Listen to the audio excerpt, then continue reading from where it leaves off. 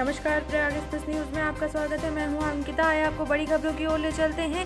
UP के मुजफ्फरपुर में दो दिन पहले बच्चों के बीच हुए मामूली विवाद के चलते युवक को गोलियों से भूनकर हत्या कर दिया आरोपित।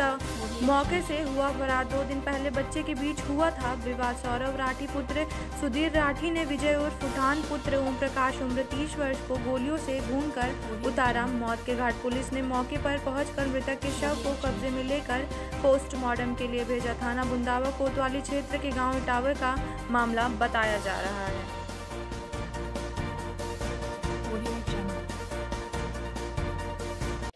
आपका पसंदीदा channel Prayag express news star TV पर उपलब्ध है। प्रयाग एक्सप्रेस न्यूज़ चैनल की खबरों को देखने के लिए लाइक करें शेयर करें और सब्सक्राइब